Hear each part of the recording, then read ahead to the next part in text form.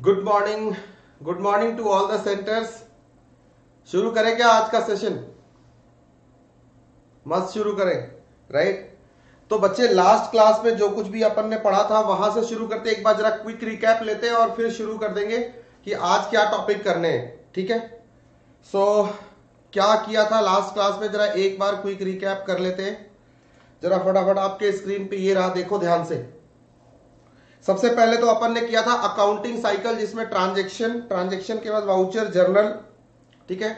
Journal ledger trial adjustment entries trial balance adjusted trial balance closing entry वगैरह वगैरह किया था।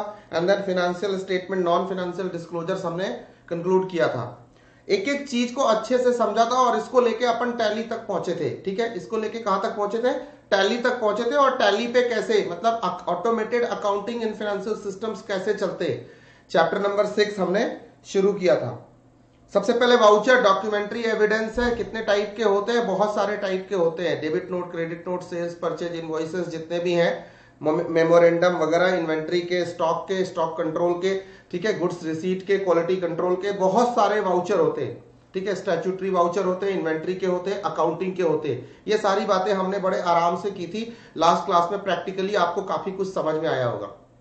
और इन सबको डील करने के लिए हमने बात करी थी एक सिस्टम को और उसको डिफाइन किया था। System is a set of rules that what executes the task assigned by the business processes with the help of कौन से बिज़नेस प्रोसेसेस? बिज़नेस के बहुत सारे बिज़नेस प्रोसेस जैसे अकाउंटिंग का फिनेंस का, इन्वेंट्री का, एचआर का पेरोल का, बहुत सारे ऐसे प्रोसेसेस आपके बिज़नेस के अंदर मटेरियल हैंडलिंग का मटेरियल मैनेजमेंट का। इन्वेंट्री कंट्रोल का, बहुत सारे प्रोसेस ऐसे रन किए जाते हैं किसी भी बिज़नेस ऑर्गेनाइजेशन के अंदर। इन सबको, इन सब के प्रोसेसेस को एग्जीक्यूट करने का काम सिस्टम करता है और उसके लिए एग्जांपल लिए थे हमने go to Goa on a holiday और एनी एनीथिंग और एक चीज़ डिस्कस करने की कोशिश करी थी कि ये man machine material IT tools and other resources के थ्रू एग्जीक्यूट होता है। और एक बात हम, मैंने आपको बताई थी कि प्रोसेस या सिस्टम कौन सा बड़ा है? तो आपने बताया था, सर, दोनों डिपेंड करता है कि प्रोसेस कितना बड़ा है और कितने सिस्टम या सब सिस्टम उसमें लगाए जा रहे हैं। या अगर प्रोसेस छोटा है सिस्टम बड़ा हो सकता है। मैंने कहा बैंकिंग का सिस्टम है, उसके अंदर बहुत सारे प्रोसेस एग्जीक्यूट करते हैं। बट गोवा जाने के लिए मुझे जब फंड की ज़रूरत पड़ती है, उस प्रोसेस में बैंकिंग का विड्रॉल कैश विड्रॉल का सिस्टम मेरे लिए एक सब सिस्टम की तरह काम करता है। प्रोसेस बड़ा था सिस्टम बहुत सारे छोटे छोटे लगे। ठीक है? ये सब समझने की कोशिश करी। ऊपर वाले डायग्राम को डील करने के लिए जो प्रोसेस हमने सेट किया, जो प्रोसेस हमने सेट किया अकाउंटिंग एंड फाइनेंशियल मैनेजमेंट का, उसको रन करने के लिए हमारे पास एक अकाउंटिंग एंड फाइनेंशियल, फाइनेंस का सिस्टम है, जिसे हमने कहा कि ये ईआरपी e हो सकता है, ये कोई टैली हो सकता है, राइट? ये सब बातें हमने की थी। और फिर हमने देखा था कि जब हम टैली की बात करते हैं, जब हम अकाउंटिंग के ऐसे एस्पेक्ट की बात करते हैं तो यहाँ असेट लाइबिलिटी ओनर्स इक्विटी ऐसे अपन डिफ्रेंशिएट करते करते हैं क्या? बिल्कुल। और यहाँ एंड यहाँ दो ही टाइप के लेजर पाए जाते हैं। एक with debit balances another with the credit balances जो आपको बहुत क्लियर है, और वो होते हैं प्लस माइनस के बेसिस पे डिसाइड ठीक है? डेबिट क्रेडिट ठीक है? असेट प्लस माइनस क्या होगा? Liability and owners equity plus minus क्या होगा? रिटेन अर्निंग का डिवीज़न कैसे करेंगे? रेवेन्यू एक्सपेंसेस एंड इनमें करेंगे। ये सब चीज़ें हमने लास्ट क्लास में डिस्कस की थी। लेजर लेजर के बारे में बात करी थी। और फिर एक जर्नल एंट्री पास करके भी देखा था और उसके प्लस माइनस के ये हमने क्या बनाए थे? बताओ। लेजर ओपन किए थे कि जब हमें टैली के अंदर ये अकाउंटिंग एंट्री पास करनी होंगी तो अपन प्लस माइनस के बेसिस पे उनकी ट्रांजेक्शन क्लोज कर देंगे। साथ ही साथ मैंने आपको बहुत सारे लेजर ओपन करके भी दिखाए थे। दो टाइप के डेटा का डिफरेंस बताया था। वो क्या था? Master data and non master data. कि मास्टर डेटा किसे कहते हैं? नॉन मास्टर डेटा किसे कहते हैं? याद है आपको? बताओ, मास्टर डेटा क्या है? एक परमानेंट डेटा है। Non master transaction or non master data changeable data. Permanent data कब चेंज हो सकता है? अमूमन ऑन एन एवरेज चेंज नहीं होता, लेकिन अप्रोप्रिएट अथॉरिटी के ऑथराइजेशन के बाद वो चेंज किया जा सकता है। ठीक है? इतनी बातें हमने लास्ट क्लास में की थी। फिर टैली की बात करी थी। टैली, जैसे ही हम टैली के अंदर जाते हैं, वहाँ एक्सेस कंट्रोल लगा होता है। एक्सेस कंट्रोल लगा होता है मतलब identification authentication authorisation and accountability fix होती है। क्रिप्टोग्राफिक रूल से फिक्स होती है। क्रिप्टोग्राफी यहाँ रोल प्ले करता है। ठीक है? आईडी पासवर्ड इश्यू होते ठीक है? अकाउंटेबिलिटी वगैरह लॉग रिपोर्ट वगैरह बनते हैं। सारी बातें की थी। एक्सेस कंट्रोल कितने टाइप के होते हैं? जनाब टू टाइप के होते हैं। एक को रूल बेस्ड बोलते हैं, एक को रोल बेस्ड बोलते हैं। मतलब एज पर पॉलिसी फ्रेमवर्क किया तो रूल बेस्ड किया रोल बेस्ड किया तो क्या करना है? मतलब need to know need to do आपको क्या जानना है, क्या जानने की ज़रूरत है, ये जानना। दो बातें मैं यहाँ पे एक्सप्लेन कर रहा हूँ। दो आपको छोटे छोटे वर्ड्स दे रहा हूँ। Need to know and need to do यही दो बेसिस हैं एक्सेस कंट्रोल के। Basis of access control for example need to know का एग्ज़ाम्पल देता हूँ, आप फाइनेंस के, आप प्रोडक्शन के आदमी हो। आप प्रोडक्शन डिपार्टमेंट में काम करते हो, आपका काम प्रोडक्शन के प्रोसेस से रिलेटेड टास्क को एग्जीक्यूट करना है। अगर आप मेरे से किसी का टीडीएस की जानकारी मांगना चाहते हो, या आप डेटाबेस में जाते हो डेटाबेस को टैली ने जो डेटाबेस बनाया ईआरपी ने जो बनाया इस डेटाबेस में जाके आप एक्सेस करना चाहते हो स्टैच्यूटरी रिकॉर्ड्स को। या आप एक्सेस करना चाहते हो ह्यूमन रिसोर्स डिपार्टमेंट के रिकॉर्ड्स को। तो ज़रूरत नहीं है ना? आपको ये जानने की ज़रूरत ही क्या है? नीड टू नो अगर आपको जानना भी है तो एचआर डिपार्टमेंट के थ्रू आपको जानकारी मांगनी पड़ेगी। ठीक है? Need to know basis need to do basis आपको करना क्या है? एज पर द रूल आपको जो टास्क असाइंड हो। टास्क असाइंड किसको? टू द सब्जेक्ट कहा? ओवर द ऑब्जेक्ट ठीक है? ये बातें हमें क्लियर रखनी है कि एक्सेस कंट्रोल के दो मेजर बेसिस हैं। नीड टू नो हर आदमी को हर एक चीज़ सिस्टम के अंदर जानने की ज़रूरत नहीं है। अगर कोई इन्वेंट्री कंट्रोल का इंसान है तो उसको time card job card batch card की इंफॉर्मेशन पेरोल प्रोसेसिंग की इंफॉर्मेशन जानने की ज़रूरत नहीं है। ये भी डेटा की सिक्योरिटी सेफगार्डिंग का असेट सेफगार्ड करने का एक इंपॉर्टेंट कंट्रोल है। ठीक है? एक्सेस कंट्रोल है। नीड टू डू बेसिस आपने जो काम करना है, आपने अकाउंटिंग करनी है नाइन टू ट्वेल्व तो आपकी अकाउंटिंग करने की का रोल नीड टू डू आपका क्लियर है और उस पर कंट्रोल भी लगा हुआ है। आप कुछ और नहीं कर सकते। एज पर द रूल आपको ये टास्क असाइन किया गया है। You need to do that ठीक है? सिंपल ये दो छोटी छोटी बातें आपको बताई, आगे इसका यूसेज करेंगे। आओ बात करते हैं अब सॉफ्टवेयर की। आप मुझे बताना। बिल्कुल आगे बढ़ रहा हूँ। अब सिलेबस में आ रहा हूँ बुक भी रेफर करते। ठीक है? मुझे आप छोटी सी चीज़ बताना। टैली क्या है? आप कहोगे सर एक सॉफ्टवेयर है। बताना कैसा सॉफ्टवेयर है बच्चे? क्या करती है टैली अकाउंटिंग करती है फाइनेंस करती है इन्वेंट्री कंट्रोल करती है, एक टैली 9.1 ईआरपी क्या है ये वर्जन ठीक है? फिनेंशियल एंड अकाउंटिंग का एक सिस्टम है, ठीक है? मींस इसको एग्जीक्यूट करने वाला एक सॉफ्टवेयर है। कैसा सॉफ्टवेयर है? एप्लीकेशन सॉफ्टवेयर है। कैसा सॉफ्टवेयर है? एप्लीकेशन सॉफ्टवेयर है। चैप्टर नंबर थ्री में हमने पढ़ा था क्या?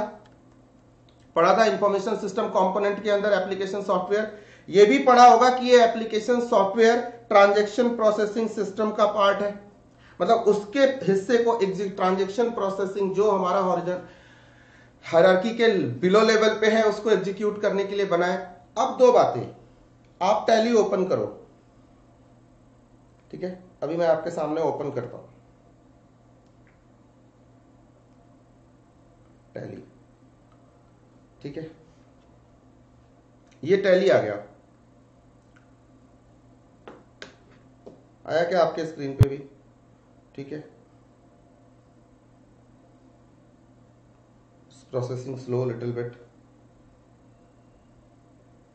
ठीक है। अभी मैं जिससे इंटरेक्ट कर रहा हूँ, जो भी ये प्लेटफॉर्म है जिससे मैं इंटरेक्ट कर रहा हूँ, क्या इंटरेक्ट कर रहा हूँ? इंटरेक्शन कर रहा हूँ। किसके साथ? टैली के साथ। ओपन करने की कोशिश कर रहा हूँ। किसके ऊपर? इस स्क्रीन के ऊपर, जो आपको भी दिख रहा है। ठीक है। ये क्या है? आप कहोगे सर ग्राफिक यूज़र इंटरफेस है राइट और ये सब्जेक्ट इसे एक्सेस करने की कोशिश कर रहा है। ये वाला सब्जेक्ट ये वाला यूज़र जरा ध्यान से बताना, ये किससे बातें कर रहा है? आप कहोगे सर किसी से नहीं टैली से बात कर रहा है। बट टैली के किस किस मॉड्यूल से बात कर रहा है? तो इस टैली के अंदर भी दो चीज़ें हैं। ध्यान से सुनना। जैसा कि आप थोड़ा बहुत जानते भी हो, पहले हम डिस्कस भी कर सकते कर चुके हैं। एक को मैं कहता हूँ फ्रंट एंड और दूसरे को मैं कहता हूँ बैक एंड ठीक है? फ्रंट एंड क्या है और बैक एंड क्या है? जैसे कि रेस्टोरेंट में जाओ तो जो आपसे कैटलॉग लेके मेन्यू लेके आपसे ऑर्डर लेने आता है, कौन आता है? शेफ तो नहीं आता वेटर आता है। वेटर एक तरह से उस किचन का उस उस रेस्टोरेंट का फ्रंट एंड है और पीछे जो शेफ है और उसका किचन है, वो क्या है? बैक एंड है। वो आपको विजिबल नहीं होता। फ्रंट एंड इससे कम्युनिकेट करता है और फ्रंट एंड एक यूज़र से भी कम्युनिकेट करता है। उसी तरह से टैली में जो ये वाली जगह है, जिससे मैं इंटरेक्ट करने की कोशिश कर रहा हूँ, ठीक है? या कोई भी कोई भी वेबसाइट ले लो। नॉट ओनली टैली आप कोई वेबसाइट ले लो, आप कोई फ्लिपकार्ट ले लो ठीक है? फ्लिपकार्ट के इस डैशबोर्ड से मैं कम्युनिकेट करने की कोशिश कर रहा हूँ। तो मैं यूज़र मेरे लिए क्या है? ये मेरे लिए फ्रंट एंड है। ठीक है? मैं इससे, ये मेरी लैंग्वेज समझता है, मैं इसकी लैंग्वेज समझता हूँ। ये वो दिखाता है जैसा मैं देखना चाहता हूँ। और जैसा मैं देखता हूँ, उसी के हिसाब से मैं इससे रिक्वेस्ट करता हूँ। अब ये पीछे जाके क्या करता है? कौन कौन से सॉफ्टवेयर कौन कौन से प्रोग्राम कौन से डेटा स्ट्रक्चर कौन से वेब सर्वर कौन से एप्लीकेशन सर्वर कौन से डेटाबेस सर्वर क्या इसके पीछे या मेल सर्वर इसके पीछे काम कर रहे हैं? वो मेरे लिए एक हिडन आस्पेक्ट है। वो मेरे लिए नोन आस्पेक्ट नहीं है। तो बोले तो किसी भी सॉफ्टवेयर के, किसी भी एप्लीकेशन सॉफ्टवेयर के दो पार्ट होते हैं। एक को अपन फ्रंट एंड कहते हैं, एक को अपन बैक एंड कहते हैं। फ्रंट एंड क्या है? वो है जिससे यूज़र इंटरैक्ट करता है। ठीक है? यूज़र इंटरैक्ट करता है। किसके साथ? फ्रंट एंड के साथ। ये क्या होता है? यूज़र फ्रेंडली होता है। ये और क्या होता है? ये प्रेजेंटेशन भी देता है।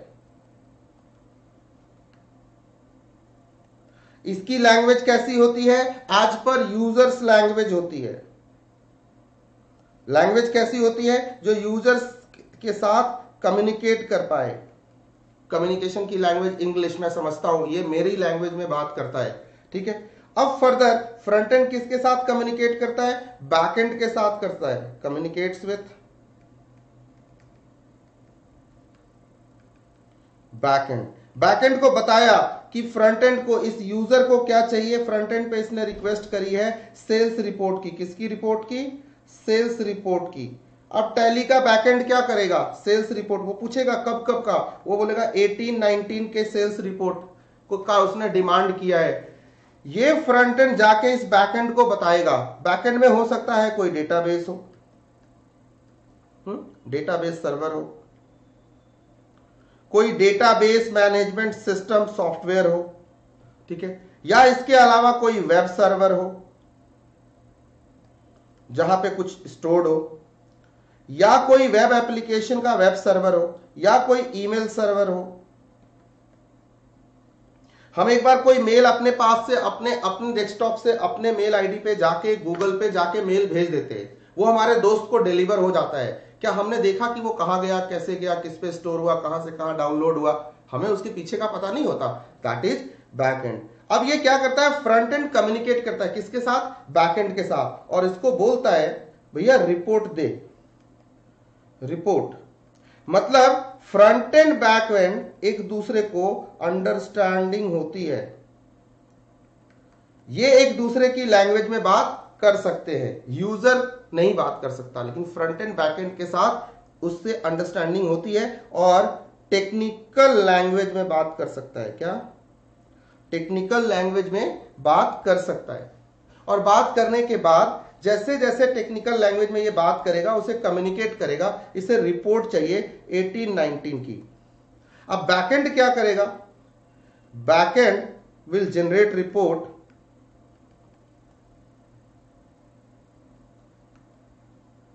writing थोड़ी खराब होगी नहीं and share with front end right किसके साथ शेयर करेगा? फ्रंट एंड के साथ। अब front end will do what now front end will share with the user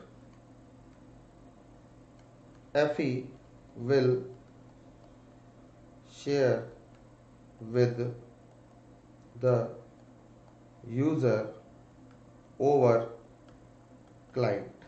Agreed ठीक है? फ्रंट एंड ने इस फ्रंट एंड को दिया, फ्रंट एंड ने यूज़र को दिया। यूज़र के साथ ये रिपोर्ट शेयर हो गई। एक बार पहले आप ये नोट कर लो then will talk more about this पहले एक बार आप ये नोट करो, फ्रंट एंड बैक एंड का रिलेशनशिप जरा छोटे में शॉर्ट में देन विल डिस्कस मोर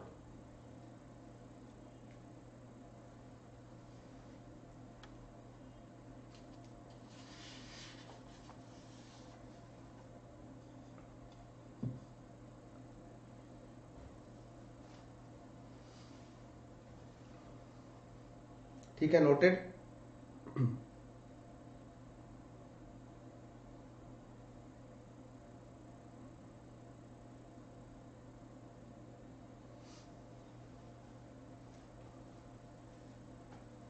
बहुत ही सिंपल बात है, इसमें कोई ऐसी तोप बात नहीं थी। कोई ऐसा मैंने धमाकेदार, ऐसी कोई बहुत ज़बरदस्त, कोई जहराना बात नहीं करती जिसमें कोई मुश्किल होने वाली है।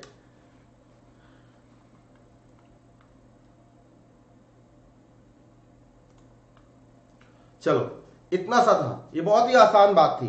अब जरा दो तीन एग्ज़ाम्पल आपको प्रैक्टिकल एग्ज़ाम्पल कराता हूँ। ठीक है? आओ, देखो। एक साइट है one Extel bulk S M S dot in मैं यहाँ पे बल्क एस एम एस भेजा करता हूँ। ठीक है?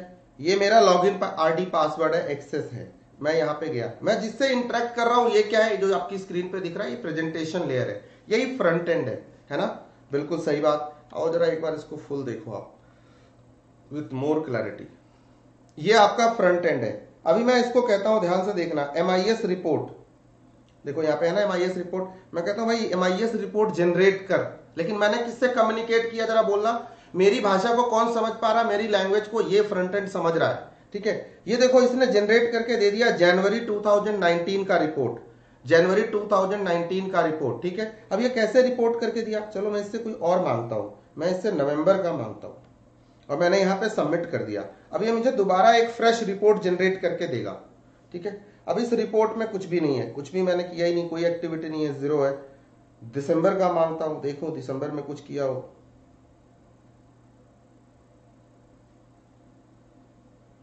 ये प्रोसेसिंग कर रहा है हमारी रिपोर्ट को। दिसंबर 2019 बिल्कुल ब्लैंक है। सॉरी मैं गलत जा रहा हूँ। 18 18 दिसंबर 19 तो अभी आया ही नहीं। ठीक है? 18 सबमिट किया मैंने। कोई भी ऐसी एक्टिविटी दिसंबर 18 में नहीं हुई है। चलो नवंबर 18 दोबारा से देखता हूँ सबमिट करता हूँ।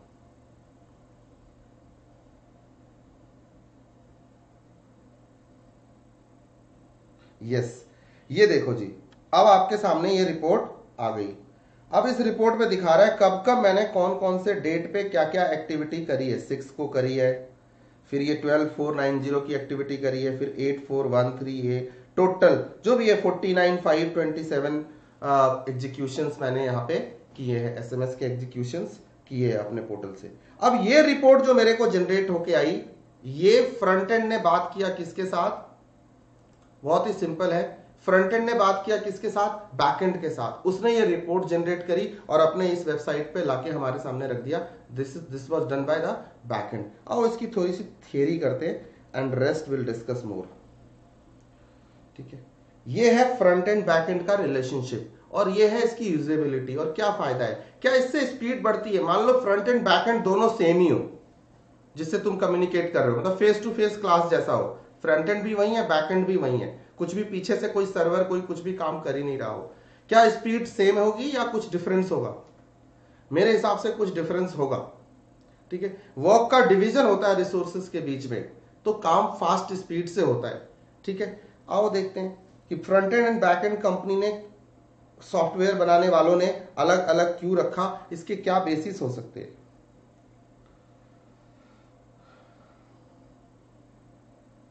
सो so, आज का पहला कॉन्सेप्ट मैं ले रहा हूँ बहुत ही सिंपल यही हम कर रहे थे front end back end page number 158 पे आ जाओ आप लोग. फटाफट ओपन कर लो. दो मिनट लगाएँगे and then will move to another concept front end it is part of overall software it is part of overall software which actually interacts with the user who is using the software tele for example. or any application. Backend. It is a part of overall software which does not directly interact with the user, but interact with the front end only. आपने कर लिया clear ठीक है? User front end से front end back end से, फिर back end front end से और फ्रंट एंड यूज़र से। सिंपल बातें हैं। If a user wants to have some information from the system user will interact with the front end front end to generate the report यही बात मैंने करी थी। Front end will receive the instruction from user and pass it on to the back end ठीक है? वो back end को देगा। Back end will process data generate report send to the front end front end will not display the information to the user on the presentation layer on P बिल्कुल। यही बात कई बच्चों ने अभी क्वेरी करी थी मेरे से कल नहीं, एक दिन पहले, कि सर ये जो अपना प्रेजेंटेशन एप्लीकेशन ब्राउज़र को वो कह रहे थे कि ब्राउज़र हमारा, ये फ्रंट एंड क्यों, ये हमारा एप्लीकेशन सर्वर पे क्यों नहीं है? ये हमारा प्रेजेंटेशन लेयर क्यों है? बड़ी सिंपल सी बात है। आप ब्राउज़र खोलते हो, ये लो ओपन किया। इसी पे तो मैं कोई भी वेब एप्लीकेशन या कोई क्लाउड एप्लीकेशन कोई भी वेब या क्लाउड इस पे मैं यूज़ कर सकता हूँ। ठीक है, इसके बगैर मैं प्रेजेंटेशन मेरे को दिखेगी कहाँ? ये तो मेरे ही सिस्टम पे, और इंस्टॉल्ड है मेरे सिस्टम पे। देखो कितने सारे ब्राउज़र कर रखे हैं मैंने इंस्टॉल बेस में देखो आप, ठीक है? एक ये है, एक ओपेरा है, एक फायरफॉक्स है, इतने सारे मैंने कर रखे हैं, ठीक है? तो ये सबसे अलग अलग चीज़ें मैं एक्सेस कर रहा हूँ तो ये हमारे सिस्टम पे इंस्टॉल्ड है, ठीक है? चलो, नीचे आओ। नेक्स्ट एक छोटा सा क्वेश्चन आ सकता है। इस इंपॉर्टेंट के लिए मैं इसको कह सकता हूँ। इस इस अटेम्प्ट के लिए very very hot why separate front end back end software why not only one एक ही क्यों है? तो सबसे पहले इसके लिए एक कोड ले लो मेरे से। बाद में बात करते हैं। यूएसपी ऑफ़ डोमेन लैंग्वेज ठीक है? ठीक लिखा? नहीं लिखा। USP of domain language you बोले तो यूज़र एक्सपीरियंस वन एस बोले तो सिंपल सी बात है स्पीड बढ़ जाती है. थ्री बोले तो हमारी प्रेजेंटेशन बेहतर हो जाती है. डोमेन एक्सपर्टीज होती है किसके पास? फ्रंट एंड की फ्रंट एंड के पास बैक एंड की बैक एंड के पास. फोर एंड लैंग्वेज ये उस लैंग्वेज में बात करता है जिससे, जैसे कि फ्रंट एंड यूज़र से इंटरेक्ट करता है तो सिंपल लैंग्वेज में बात करता है, हमारी इंग्लिश या जो भी लैंग्वेज आपने ऑप्ट करी है। और जब फ्रंट एंड बैक एंड से और बैक एंड फ्रंट सेट से कम्युनिकेट करता है तो वो कैसी लैंग्वेज टेक्निकल लैंग्वेज में मशीन लैंग्वेज में बात करता है। अपने सिस्टम सॉफ्टवेयर की जो लैंग्वेजेज हैं, उसमें बात करता है। अपने कोड्स में बात करता है, अपने कमांड्स के फॉर्मेट में बात करता है। ठीक है? तो फाइव तो ये फाइव रीजन हैं, जिसकी वजह से ये दोनों सेपरेट हैं। एक एक करके पढ़ते हैं। सबसे पहले डोमेन एक्सपर्टीज डी डोमेन आप अंडरलाइन कर लेंगे। मतलब स्पेशलाइजेशन ध्यान से सुनो। Front end software is meant for handling request from users क्यों बनाए? रिक्वेस्ट फ्रॉम यूज़र्स को हैंडल करने के लिए। Back end software is meant for storing and handling the data हमने कहा ये डेटाबेस है।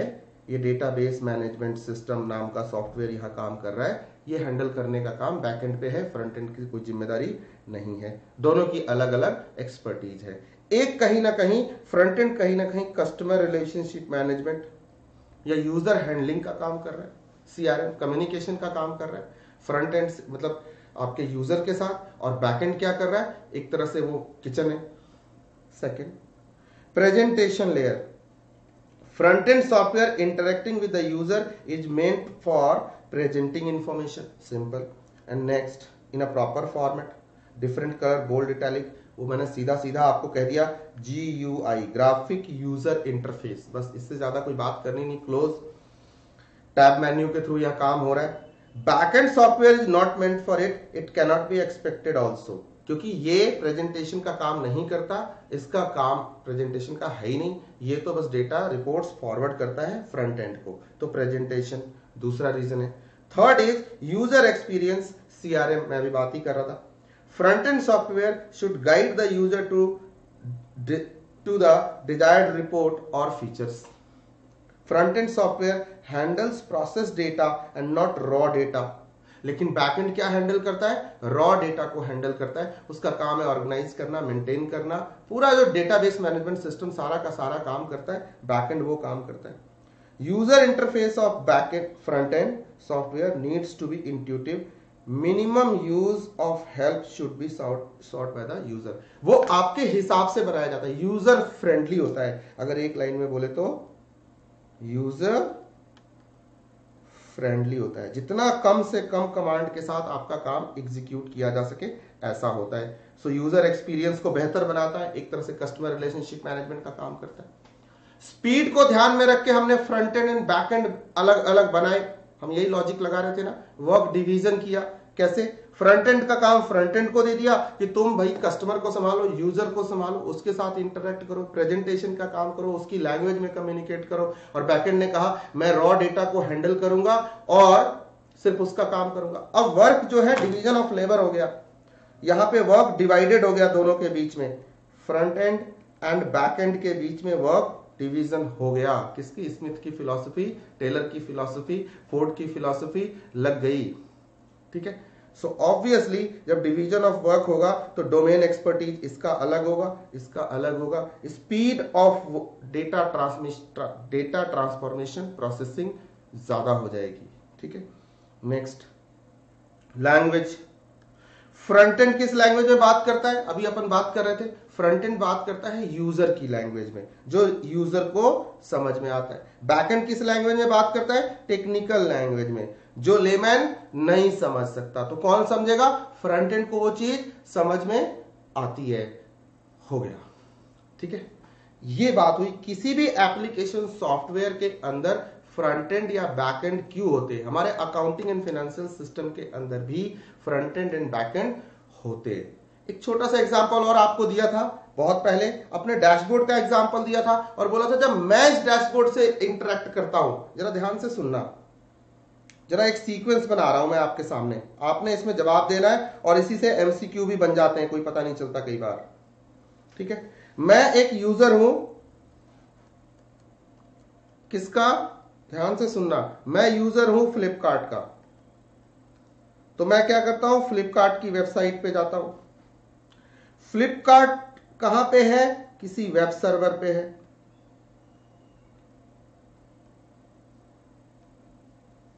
ठीक है? इसके आगे पीछे बहुत सारे लोग इसके और पीछे काम कर रहे हैं। वो कौन से हैं? जैसे सेलर है। जैसे ई कार्ट है। ठीक है? जैसे कि वेयर हाउस है। और इन सब के पास क्या है? इन सब के पास एक डैशबोर्ड है। ध्यान से सुनते जाना बस मेरी बात को, ठीक है? इन सब के पास क्या है? एक डैशबोर्ड है।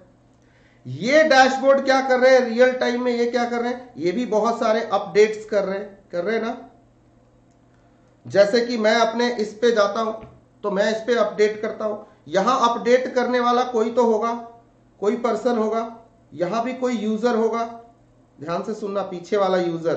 जो इन डैशबोर्ड से या तो सेलर होगा, या ई कार्ड का कोई पर्सन होगा, या वेयर हाउस का कोई पर्सन होगा, जो इससे इंटरेक्ट करता होगा। अल्टीमेटली जो कुछ भी हम यहाँ करते हैं, ये भी कहा जाता है, ये भी हमारे वेब सर्वर पे ही जाता है। मतलब यहाँ अगर मैं कुछ भी कर रहा हूँ तो वो इफ़ेक्ट कहाँ दिखा रहा है? आपकी वेब वेब सर्वर होते हुए आपके इस वेबसाइट पे इफ़ेक्ट दिखा रहा है। और इन सब का बैकअप कहाँ है? बोलो भाई, ध्यान से, डेटाबेस। सर्वर पे है। अब ध्यान से सुनना। अब इस सीक्वेंस में मुझे फ्रंट एंड बैक एंड बताना आप, आपने बताना है। इस यूज़र के लिए फ्लिपकार्ट फ्रंट एंड है कि नहीं है?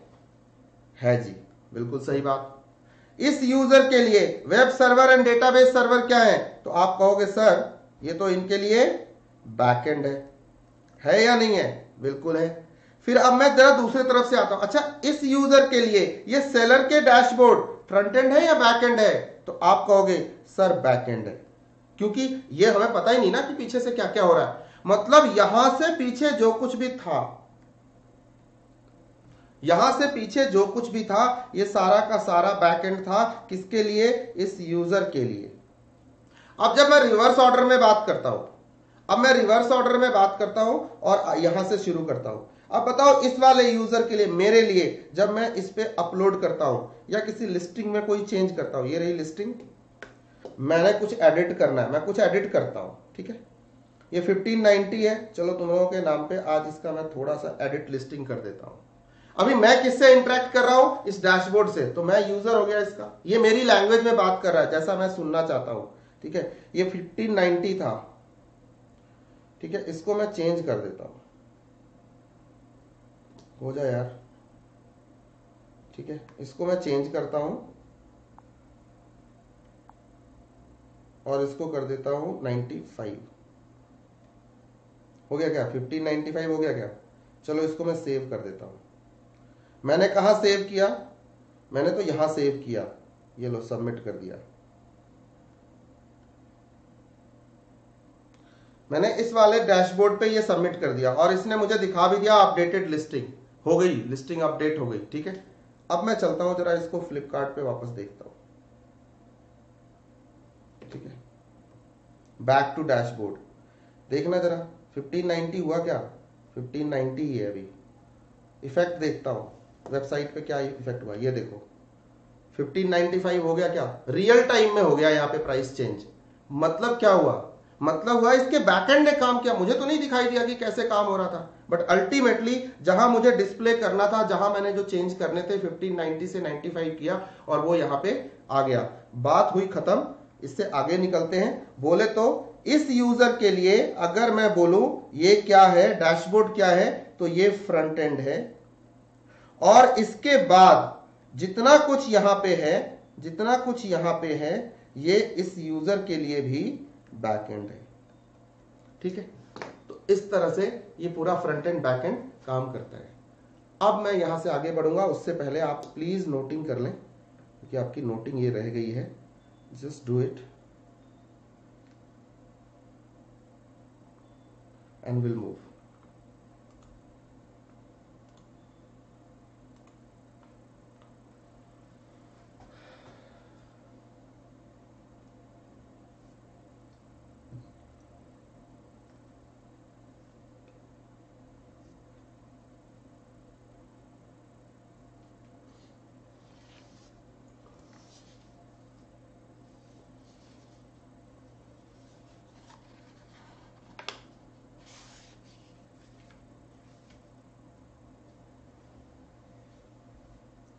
done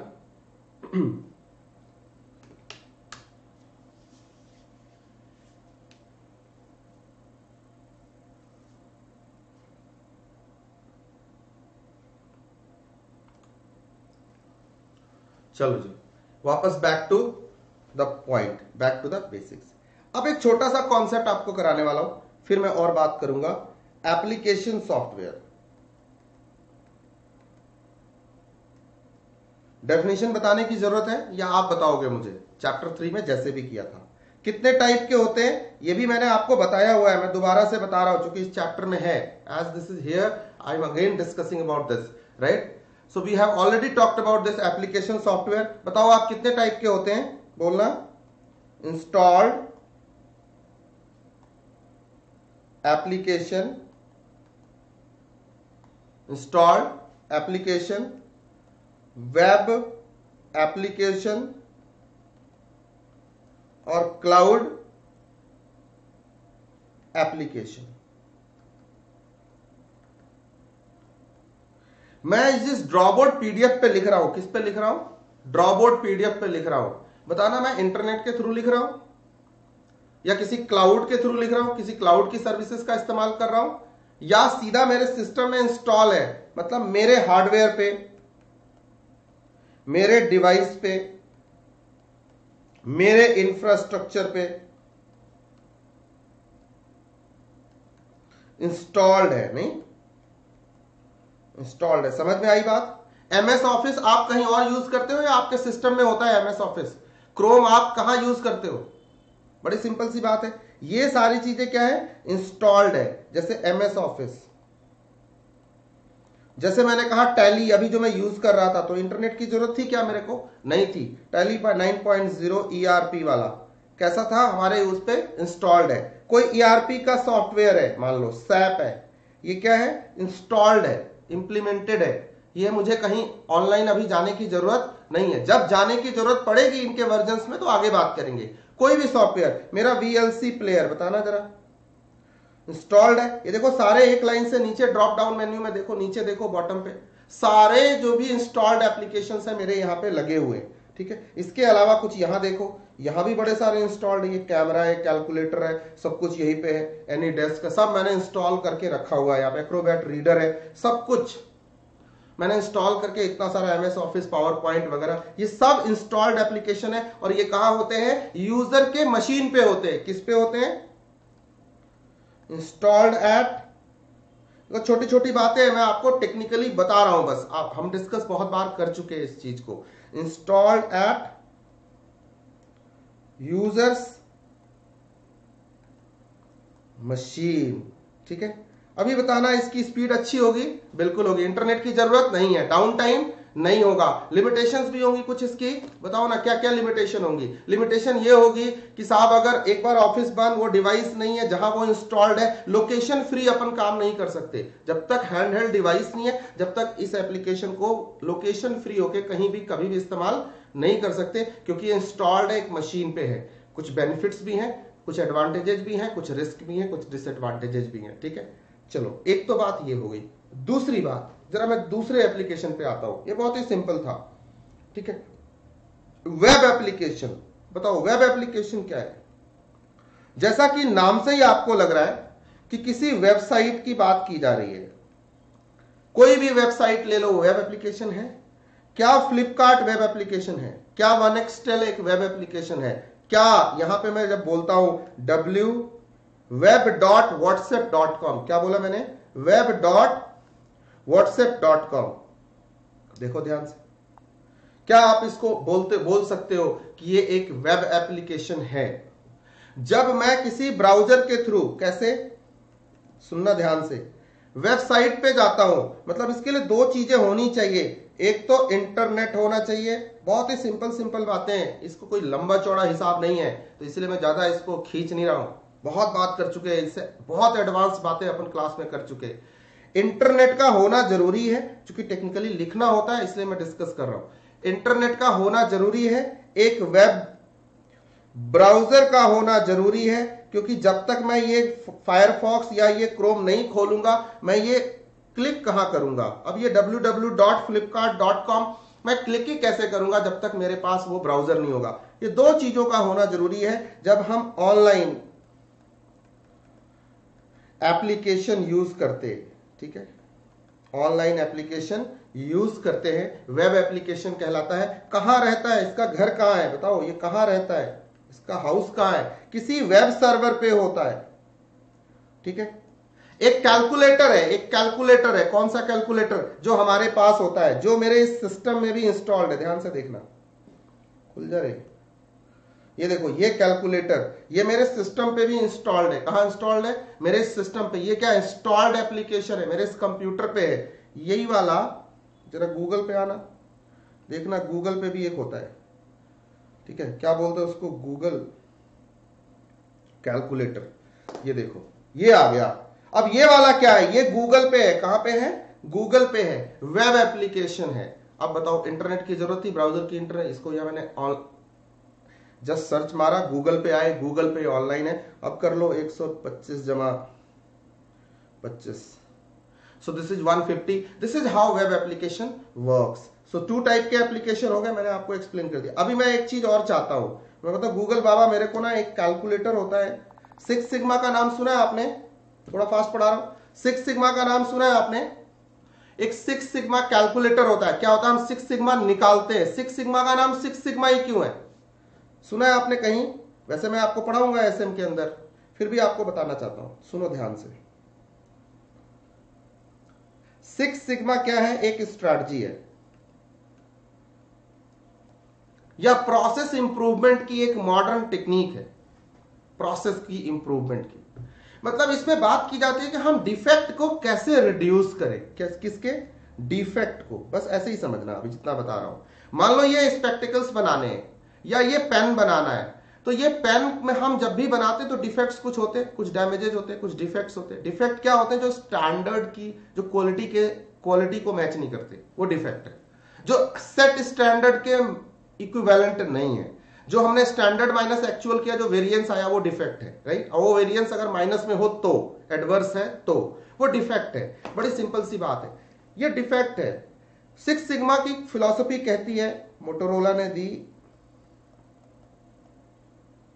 मोटोरोला ने दी 1986 में दी, और इसकी फिलॉसफी है 3.4 डीपीएमओ मतलब फुल फॉर्म होता है 3.4 डिफेक्ट्स पर मिलियन अपॉर्चुनिटी। तो क्या होता है, इसका स्टैंडर्ड डेविएशन कैलकुलेट किया जाता है। जब हमने 3.4 डिफेक्ट किया, एक 10 लाख, इस इस प्रोडक्ट को 10 लाख प्रोडक्ट बनाया। इस पेन को 10 लाख टाइम बनाया। 10 लाख प्रोडक्ट प्रोड्यूस किया। और 3.4 डिफेक्ट पे जाके रोक दिया। मतलब उतने ही डिफेक्ट हुए 10 लाख में से। मतलब हमने सिक्स सिग्मा के उस लेवल को अचीव किया जो मोटोरोला ने रेकमेंड किया। एक बार में पॉसिबल नहीं है। ये कॉन्टिन्यूस इवेंट है। लगातार चलने वाला ये प्रक्रिया है। तब जाके we achieve this level of excellence right that is called six sigma so generally organisation धीरे धीरे इस लेवल को अचीव करने की तरफ़ बढ़ती हैं। सिक्स सिग्मा फिलोसफी कहते हैं स्ट्रेटजी भी है प्रोसेस इंप्रूवमेंट की एक टेक्निक है। तो उसी पे 3.4 का जब हमने प्रोसेस सिग्मा निकाला 3.4 डिफेक्ट का जब प्रोसेस सिग्मा निकाला तो जो हमें मिला, वो मिला, उसका जो सिग्मा मिला, वो मिला सिक्स इसी पे नाम इसका सिक्स सिग्मा पड़ा। ठीक है? कैसे निकला तो इसकी एक कैलकुलेटर होता है। अब ये हम स्टैटिस्टिकल टेक्निक से कैलकुलेट करो बैठ के, घर पे लगे रहो, ठीक है? सिक्स सिग्मा अच्छा स्टैंडर्ड डिविजन निकाला, ये निकाला, ठीक है? अब पता चला हाँ जी सिक्स ही आया, ठीक है? दूसरी तरफ़ हमारे पास वेब एप्लीकेशन है। सिक्स सिग्मा एक कैलकुलेटर आता है। प्रोसेस सिग्मा कैलकुलेटर ये देखो मैं आपके सामने क्लिक कर रहा हूँ। बस आपका जो भी डिफेक्ट है ना, इस कैलकुलेटर पे ले जाके सेट कर दो, ठीक है? इस कैलकुलेटर पे लाके सेट कर दो, वो आपको सिग्मा की वैल्यू बता देगा। यहाँ क्या अपॉर्चुनिटी कितनी है? टेन लैक्स है। इतना प्रोडक्ट ये वाला बनाया। डिफेक्ट कितना है? Three point four. ठीक है? अब इसको कैलकुलेट करते हैं। ये देखो, क्या निकला? रिज़ल्ट इधर आ गए। Field below which show the result of your process. क्या है? DPMO 3.4 defect, zero percent defect कहा इसको। एफिशिएंसी 99.9996 सिक्स सिक्स मतलब सिक्स सेवन कह सकते हो। तो वो हंड्रेड परसेंट के बराबर ही ईल्ड आया। प्रोसेस सिग्मा सिक्स इसीलिए इसका नाम सिक्स सिग्मा पड़ा। अब ये कैलकुलेटर कहाँ पे है? ऑनलाइन है, ठीक है? ये सिंपल सी फिलोसफी आपको बताई। सिक्स सिग्मा का नाम सिक्स सिग्मा क्यों पड़ा? अच्छा उसको चेक करने के लिए हमने कैलकुलेटर का इस्तेमाल किया। अभी मेरा डिफेक्ट मान लो मैं बनाता हूँ, मैं बनाता हूँ कोई प्रोडक्ट और क्या है ना, मैं जब बनाता हूँ तो मेरे डिफेक्ट्स बहुत ज़्यादा होते हैं। मान लो मैंने डिफेक्ट कर दिया 52 कोई बात नहीं। कर दिया 3.4 की जगह 52 अब मैं कैलकुलेट करता हूँ। देखो, इसने क्या कहा? DPMO defects per million opportunity 52 सही है। डिफेक्ट का परसेंटेज दिया 0.01 ईल्ड दिया 99.99 परसेंट प्रोसेस सिग्मा कितना निकला? 5.38 क्या मैंने सिक्स सिग्मा अचीव किया? नहीं किया। ठीक यही कैलकुलेटर है। बड़ा ही सिंपल सी बात है। इसमें कुछ भी इतना हाई फाई कुछ भी इतना लंबा चौड़ा नहीं है। बहुत अच्छी बात है। आओ। तो ये क्या था? वेब एप्लीकेशन है। ये क्या है? वेब एप्लीकेशन है। जितने भी वेबसाइट्स हैं, आप ई कॉमर्स करते हो, आप किसी वेबसाइट वेब एप्लीकेशन है, आप इस्तेमाल कर रहे हो। बहुत अच्छी बात। यहाँ दो चीज़ें मेरे को आपको बतानी है, बताना ध्यान से। ये हमारे ये हमारे इंफ्रास्ट्रक्चर पे इंस्टॉल्ड है। बोलो। क्या ये हमारे डिवाइस पे इंस्टॉल्ड है? वेब एप्लीकेशन नहीं। किसके पे इंस्टॉल्ड है? इसका घर कहाँ है? वेब सर्वर पे है। कहाँ पे है? वेब सर्वर पे, हमारे पे नहीं है, कुछ भी हमारे पे नहीं है। इंटरनेट चाहिए चाहिए। ऑनलाइन है ऑनलाइन है। हम पे लोड है, नहीं है। सिक्योरिटी है, आप कहोगे रिस्क है, क्योंकि ऑनलाइन है तो रिस्क ज़्यादा होगा। छोटी छोटी बातें आपसे पूछ रहा हूँ, आप बताओ। ठीक है? अच्छा स्पीड स्पीड प्रोसेसिंग की ज़्यादा वेब पे होगी कि इंस्टॉल्ड पे होगी? Just I am asking installed पे होगी कि वेब पे होगी? इंस्टॉल्ड पे ज़्यादा होगी? वेब पे मान लो इंटरनेट स्लो चल रहा है तो स्लो हो जाएगा। वो तो हम दूसरे पे डिपेंडेंट है ना। उस एप्लीकेशन के लिए किस पे डिपेंडेंट है? उसके वेब सर्वर पे। अगर उसका वेब सर्वर सही से रिस्पॉन्स नहीं कर रहा तो अपनी तो लग गई। राइट इस केस में ऐसा नहीं होगा। ठीक है? इंस्टॉल्ड के केस में ऐसा नहीं होगा। डिफरेंसेस अभी पढ़ेंगे। तब तक तीसरा भी ऐप करते हैं। तीसरा भी एप्लीकेशन करते हैं, जिसे हम बोलते हैं क्लाउड एप्लीकेशन बस मैंने कुछ कहना ही नहीं है, बस इतना कहना है, इन दोनों को जोड़ा तो लाइव झिंगालाला बनाया। मतलब cloud application is a hybrid hybrid application ठीक है? बहुत लंबा चौड़ा मामला नहीं है। यहाँ पे ज़रूर नाम से ही लग रहा है, यहाँ पे कोई ना कोई भाई साहब सीएसपी होगा क्लाउड सर्विस प्रोवाइडर होगा या कोई ईएसपी e होगा, जो सर्विस प्रोवाइडर होगा। उसका एप्लीकेशन होगा, हम यूज़ कर रहे होंगे। फॉर एग्ज़ाम्पल आप बताओ फेसबुक यूज़ करते हो? सब करते, अभी कर देते सर www.facebook.com ये क्या किया मैंने? वेब एप्लीकेशन यूज़ किया या क्लाउड एप्लीकेशन यूज़ किया? सर ये ना पक्का पक्का वेब एप्लीकेशन यूज़ किया है। क्या यूज़ किया है? वेब एप्लीकेशन डब्ल्यू डॉट पे गए वेबसाइट पे गए, उसके फ्लिप फेसबुक के, उसके वेब सर्वर को एक्सेस किया और ये हमने रन कर लिया। अब सुनो दूसरी तरफ़। अब यहाँ देखो। यहाँ पे ना एक इसका ऐप मेरे सिस्टम में इंस्टॉल्ड है। होना चाहिए।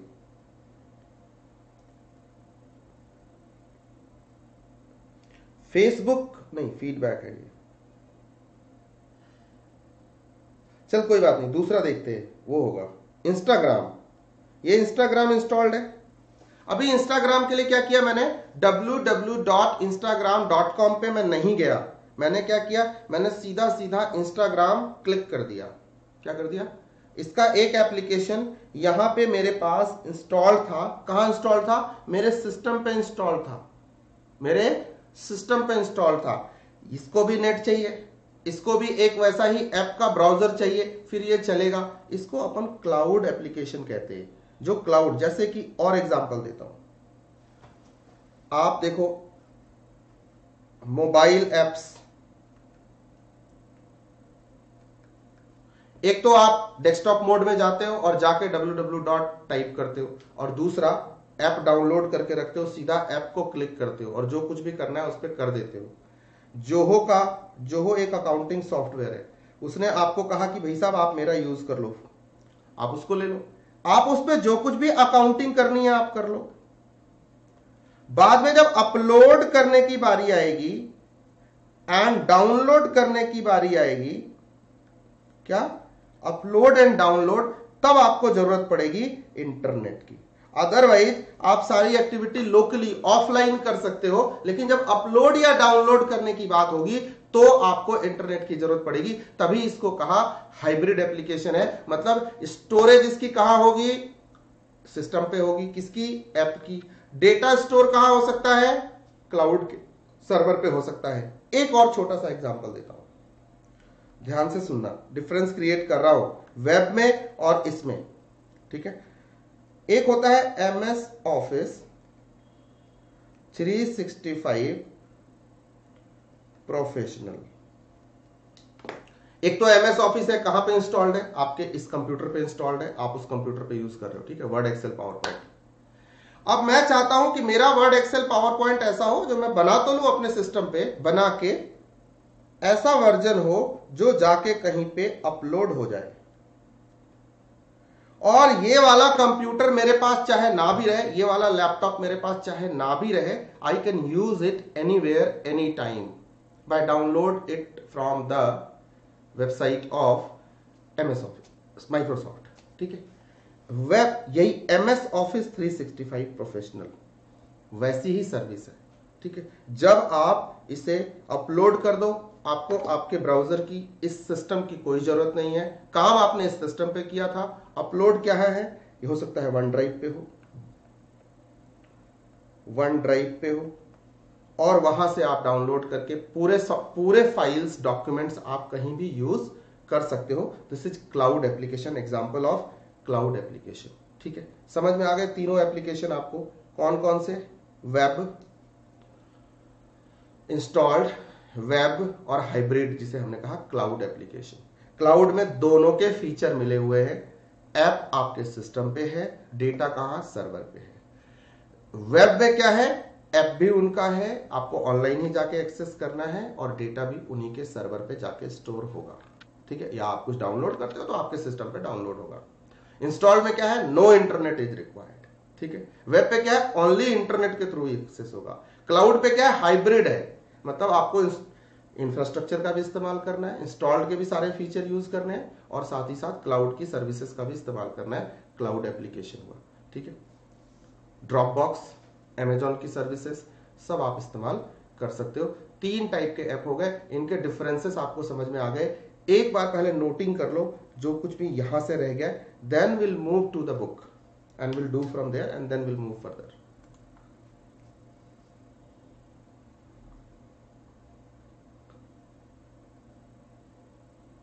फटाफट नोटिंग कर लो देन विल मूव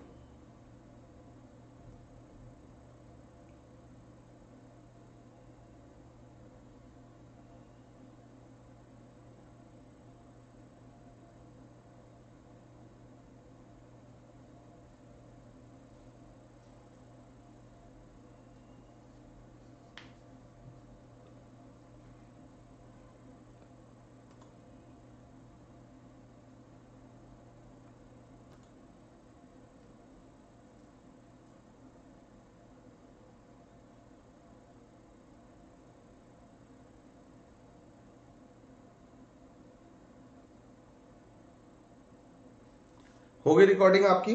और रिपोर्ट सॉरी नोटिंग आपकी? चलो, अब और बात करता हूँ थोड़ी सी और आगे चलते हैं। एक बार जरा फटाफट अपनी बुक पे आइए, और फिर मैं आपको कुछ कराता हूँ यहाँ से। ठीक है? एक बार जरा इस कॉन्सेप्ट को कंसोलिडेट कर ले, फिर बढ़ेंगे आगे। ठीक है? बिल्कुल शॉर्ट में, सारी बातें मैंने कर दी हैं लिटरेचर वाइज कंसोलिडेट करा रहा हूँ। ध्यान रखना, पढ़ते हुए जैसे मैं एक्सप्लेन कर रहा हूँ एग्जाम्पल्स दे रहा हूँ लाइव जो दिखा रहा हूँ, उसको दिमाग में एकदम चिपका के रखना है। बाकी सब बातें चलती रहेंगी और बुक में लिखने की कोई टेंशन नहीं है कि लिखेंगे कैसे। अगर नॉलेज है, अगर सारी बात हमें पता है, बड़े आराम से लिखेंगे। मैंने वो कॉपियाँ देखी हैं जो अभी टेस्ट आपने दिया था सारे के सारे।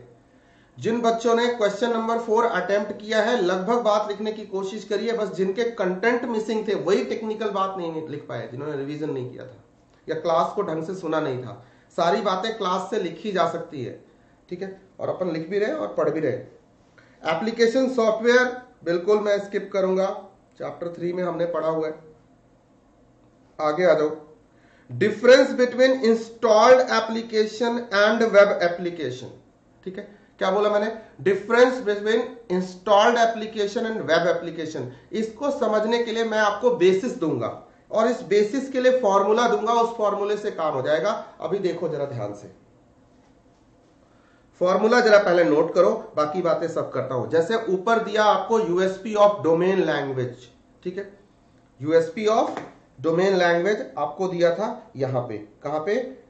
Separate front end and back end क्यों चाहिए?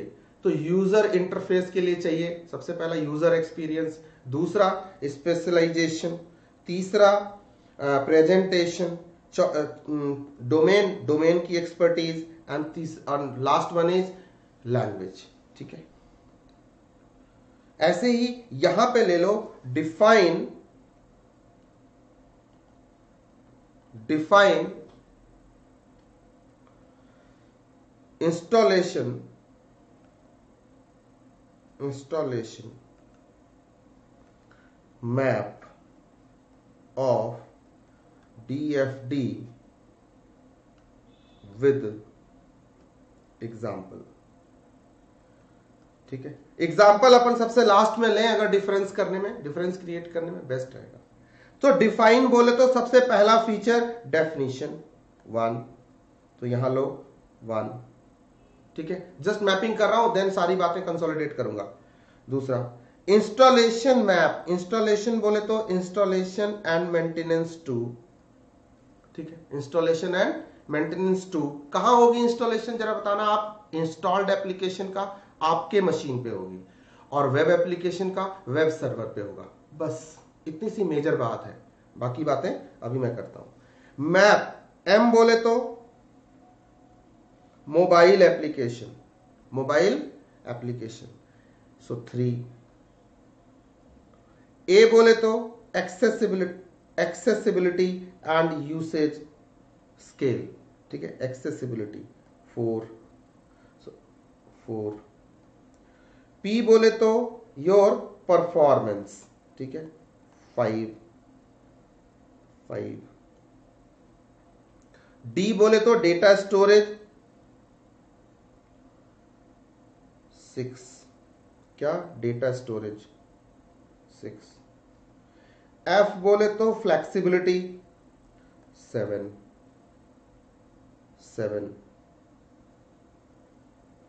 एट बोले तो D data security data security eight with example nine number कहा है विद एग्ज़ाम्पल ये रहा नाइन नंबर लास्ट में एग्ज़ाम्पल लगाने का।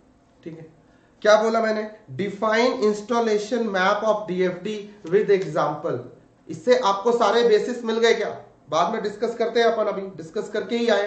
पहले एक बार जरा बेसिस क्रिएट कर ले और जरा सिंपली बात कर लेते हैं। डेफिनेशन हम दे सकते हैं क्या? क्या है वेब एप्लीकेशन एक एक करके। इंस्टॉल्ड एप्लीकेशन क्या है? Installed on the hard disk of the user कोई नई बात करी क्या इसने?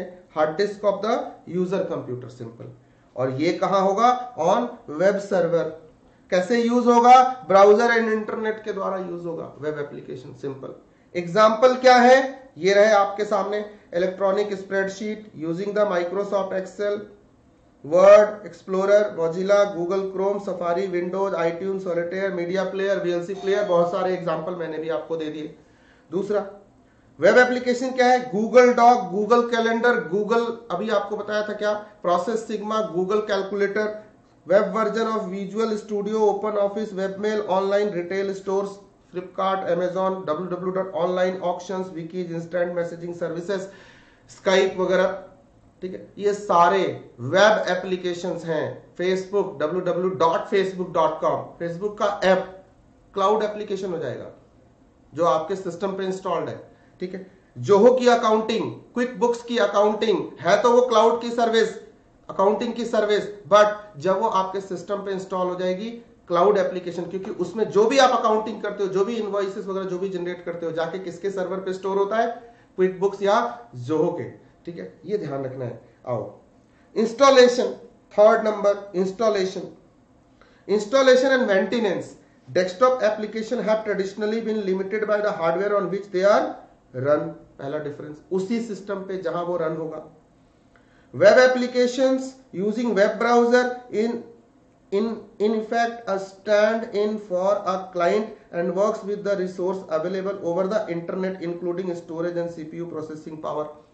सारा कुछ कहाँ पे प्रोसेसिंग हो रही है? ऑनलाइन हो रही है through internet over the web server तो ये हम फ्लेक्सिबल है, ठीक है? इंस्टॉल्ड का है? वहाँ पे है। They must be developed installed की बात करो they must be developed for and installed on a particular operating system एक ही ऑपरेटिंग सिस्टम पे होगा विंडो एक्सेल यहाँ पे आप ऑपरेटिंग सिस्टम फ्री होके काम कर सकते हो। This approach allows for thin client thin client ध्यान से सुनना क्लाइंट थिन है।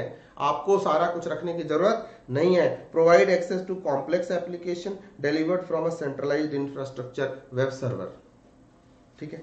Maintenance and updating of the software में take a lot of time and effort आपको एक एमएस ऑफ़िस अपलोड करना है अपडेट करना है विंडो अपडेट करना है टाइम लगता है, आप करते हो सिक्योर या आपका जो आपने सिक्योरिटी सॉफ्टवेयर ले रखा है टोटल सिक्योरिटी क्विक हिल की अपडेट करते हो।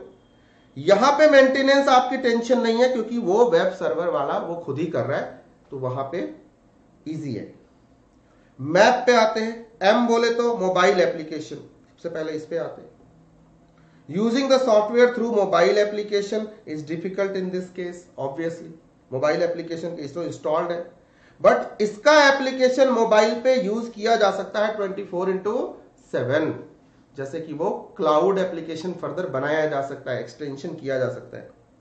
Data map of DFD D बोले तो data storage data is physically stored in the premise of the user. कहाँ होगा डेटा यूज़र के पास होगा। उसी डिवाइस पे होगा जहाँ की इंस्टॉल्ड एप्लीकेशन है। यहाँ पे कहा होगा? यूज़र सर्वर वेब सर्वर बोल सकते हैं क्या? वहाँ होगा। नंबर टू एफ़ एफ़ बोले तो फ्लेक्सिबिलिटी इंस्टॉल्ड एप्लीकेशन में फ्लेक्सिबिलिटी होगी क्या? नहीं होगी। रिजिडिटी होगी। जिस सिस्टम पे आपने लगाया है, बनाया है, वहीं जाना पड़ेगा। Installed application shall have more flexibility and control as sorry as compare to web application sorry यहाँ पे एक मिस्टेक हुई। डेटा स्टोरेज के मामले में यहाँ पे फ्लेक्सिबिलिटी होगी। यूजेबिलिटी के मामले में, इसको एक्सेस करने के मामले में वेब सर्वर की फ्लेक्सिबिलिटी ज़्यादा होगी। ये रिजिड होगा उस केस में। बट जब हमें अपने तरीके से काम करने हो, कैसे हमें एग्जीक्यूट करना है अपने सर्विसेज़ को, वो हमारे कंट्रोल में होगा। यूज़र के लिए for user this will be flexible and this will not be that flexible because इसका कंट्रोल किसके पास है किसी फ्लिपकार्ट के पास है या किसी माइक्रोसॉफ्ट के पास है उसका कंट्रोल हमारे पास या क्विक हिल के पास है उसका कंट्रोल हमारे पास नहीं है ठीक है next D for data security as the data is physically controlled in physical control of the user security कहाँ ज़्यादा होगी? ऑफ़ द साइट है डेटा ऑन द साइट है डेटा हमारे पास है कंट्रोल हमारा बेहतर होगा। Users shall have the full physical control over the data and they can ensure that it is not accessed without proper access. Web application पे online है तो हमेशा एक्सपोज टू रिस्क है। Data security is a big challenge ये हमने cloud computing में भी पढ़ा था। तभी हमने hybrid cloud client hybrid cloud की सर्विसेज़ हाइब्रिड क्लाउड यूज़ किया था। Same here next map of D F D with example example आपने कर लिया। कोई रह गया? Accessibility and usage application Desktop applications are confined to a physical location and hence have usability constraint. ये वाली बात है। एक्सेसिबिलिटी का कंस्टेंट रहेगा क्योंकि ये सिंगल लोकेशन पे है। ये मेरे प्रेमाइस पे है। तो मैं जब यहाँ होऊँगा तभी इसे यूज़ कर सकता हूँ। इसके साथ ऐसा नहीं है। ये किसी सर्वर पे है, किसी वेब सर्वर पे है। मैं जहाँ मर्ज़ी हूँ, वहाँ से इसे एक्सेस कर सकता हूँ, किसी भी डिवाइस से एक्सेस उस वेबसाइट पे जाके कर सकता हूँ, ठीक है? डन एग्जाम्पल्स हमने कर लिए बहुत सारे। This was it cloud based application what is cloud based application मैंने कहा ये हाइब्रिड है। क्लाउड एप्लीकेशन और cloud app is a software program where cloud based and local component work together क्या कहा मैंने? क्लाउड का क्लाउड सीएसपी की सर्विस और मेरे हार्ड डिस्क मेरा हार्ड डिस्क मेरा सिस्टम ये दोनों मिलके काम करते हैं। ये दोनों मिलके काम करते हैं, वो क्लाउड है। ठीक है?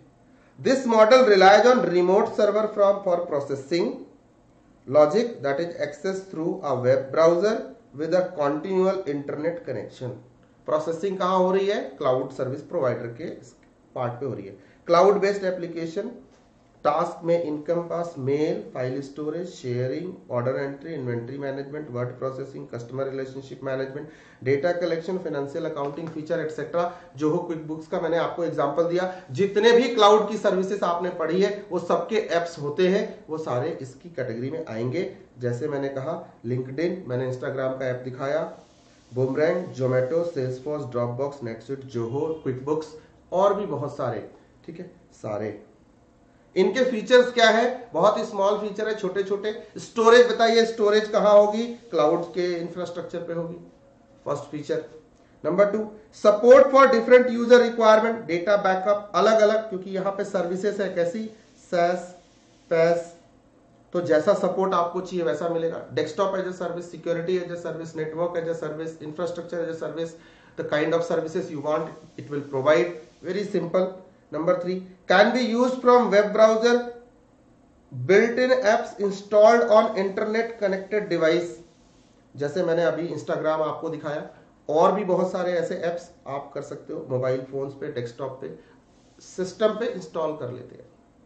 Can be used to access a wider range of services such as on demand computing cycle storage on demand services application development platform पूरा का पूरा ऐसा नहीं लग रहा क्लाउड कंप्यूटिंग यहाँ पे इस ऐप ये क्लाउड कंप्यूटिंग वाला ऐप है, ठीक है? वो सारी बातें यहाँ पे हो रही है। स्टोरेज कहा?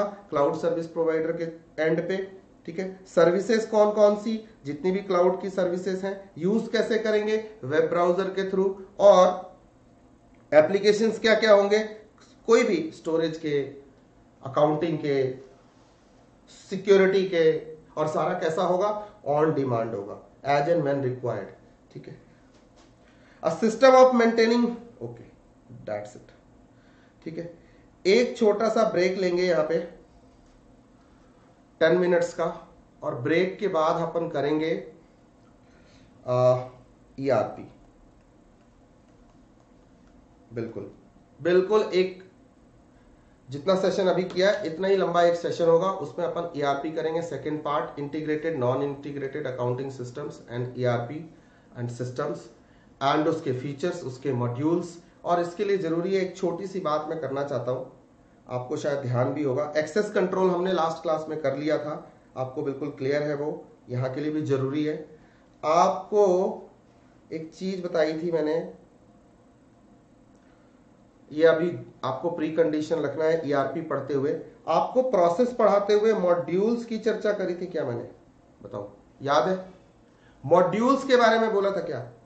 कोई बीपीएम पढ़ाया था क्या? बिज़नेस प्रोसेस मैनेजमेंट और इसको जब हम एक सॉफ्टवेयर की मदद से रन करते हैं तो इसको बताया था क्या कि इसे हम बीपीएमएस कहते हैं। और क्या मैंने आपको बताया था क्या कि एक ऑर्गेनाइजेशन एक बिज़नेस सिस्टम के अंदर एक बिज़नेस सिस्टम के अंदर बहुत सारे छोटे छोटे बीपीएमएस होते हैं, बहुत सारे मॉड्यूल्स होते हैं। बताया था क्या आपको? एक कॉम्प्रिहेंसिव डायग्राम आपको बताया था क्या? पूरा सिस्टम का डायग्राम बना के दिखाया था क्या आपको? From idea to profit conversion into dividend मतलब सारा प्रॉफिट का डिस्ट्रीब्यूशन इनटू डिविडेंड याद होगा आपको? पूरा एक, पूरा पूरा एक चार्ट करा के दिया था ऐसे। पूरा एक चार्ट करा के दिया था पूरे बिज़नेस सिस्टम का। बैक ऑफ़ द माइंड में आपको कुछ नहीं, बस वो चार्ट दिमाग में रखना है और फिर शुरू करेंगे हम इस ब्रेक के बाद ईआरपी पी क्या? Enterprise resource planning